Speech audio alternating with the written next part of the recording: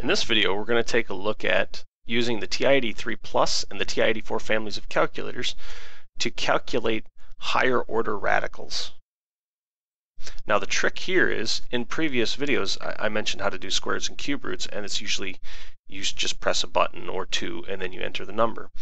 When you're dealing with fourth order and higher radicals, you need to put the index in first. And I recommend doing all of this in parentheses so you don't get confused as to what's happening before or after. So to start with, I'm going to go ahead and insert a set of parentheses.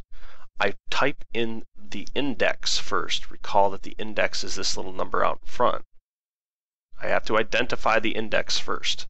And so that's 4.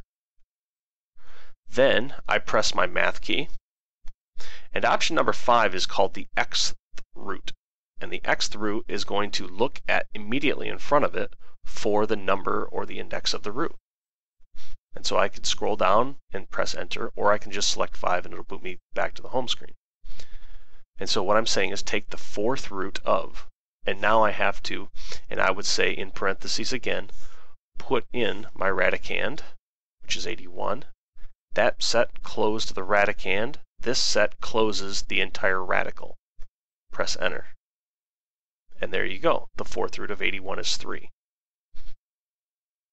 Okay, so let's go ahead and do a couple more just to see what happens. Here we're asked to find the sixth root of negative 243. And now I changed my mode earlier. I'm going to go back to it and go back to the proper mode here. If you're just learning about radicals, then you don't know you probably don't know about complex numbers if you already know about complex numbers, just make sure that your mode is selected to a plus bi. It'll work out. So I'm going to open a set of parentheses. I input the index. Then I say math. I say number 5 for x root. And then in the set of parentheses, I put negative 243. And I close both sets. Press enter. And I say it's a non-real answer. Oh, okay, so this gives me a warning that, hey, you're about to do something bad. This is non-real. Well, okay, so I, I screwed up. I, I know it's non-real, so how do I fix it? Well, second quit will, will get you out of that error. If I go back into mode and I select A plus BI towards the bottom, press enter. If you select, or if you scroll off of it, it should be blackened. Second quit.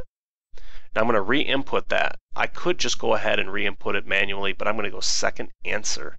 Oh, I'm sorry, not second answer, second entry. And that's just going to put it right back in, and then I recalculate it by pressing enter. And now it gives me the answer. So it's 2.163 blah, blah, blah, blah, blah, plus a bunch of stuff i. And so I, I know now it's imaginary.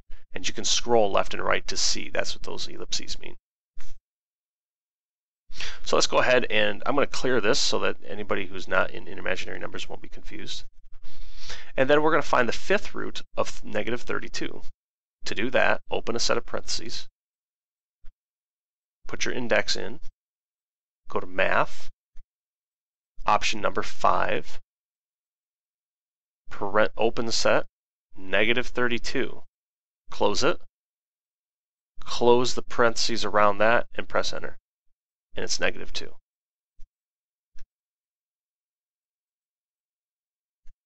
And so that's how you find the higher order indices for the TI-83 Plus and the TI-84 families of calculators.